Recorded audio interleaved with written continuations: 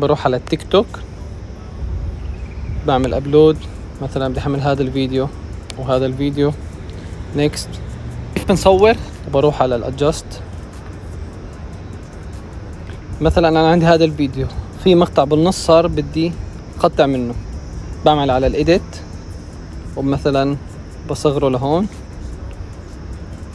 okay مثلا أنا هذا الفيديو بدي سرعته مثلا نصور مجسمات صغيره فأنا بيمشي عندي مقطع الفيديو. هذا بسرعة نصور؟ 2 مجسمات صغيره والمقطع الثاني بسرعة طبيعية. مجسمات بتقدر تعمل split لأكثر من مقطع. مثلا أنا بدي أم- بدي أخلي هذا الفيديو مقلوب. sorry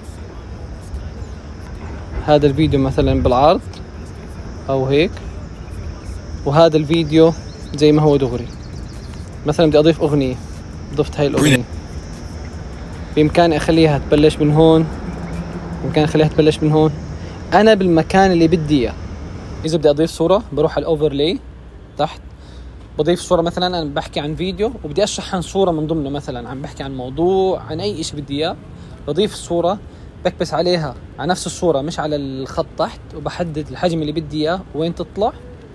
وبالإضافة إذا أنا حابب أختار الثواني اللي تطلع فيها لو أنا حابب هاي الصورة مثلا تطلع بأول فيديو بآخر الفيديو بكبس على المستطيل تحت تبع نفس الصورة وبكبس split عشان تصير عندي نصين. بكبس مثلا باخذ أول صورة بحطها بآخر الفيديو والصورة الثانية مثلا بخليها بأول فيديو. بختار وين بدي إياها عدد الثواني اللي تطلع فيها. ولو أنا حابب أضيف نص بكبس على التكست اللي تحت وبضيف أي نص بدي إياه. صار بإمكاني أتحكم من بالنص من خلال كل كلمة لحال. مش زي أول مثلا أنا أختار على الكلمة واحدد من, وين لوين. هاي الطريقة صارت أسهل. أنا مثلا هي بدي أختار أول الفيديو نص الفيديو متى تطلع. بنزلها تحت مثلا عشان بدي أحط كلمة تانية تطلع هي قبلها. فأنا ضفت كلمة تانية مثلا. آخذ الكلمة لأول الفيديو أو لآخر الفيديو. ما تطلع هاي يطلعوا تنتين مع بعض. زي ما أنتم شايفين صار المستطيل الفوشي الاولي فوق المستطيل الفوشي اللي تحت. بختار التوقيت اللي بدي إياه.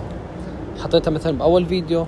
بالنص بالآخر مدتها خمس ثواني أربعة اللي بدي إياه. طبعا وللإستفادة أكثر لازم أنتم تطبقوا على الفيديو عشان تستفيدوا أكثر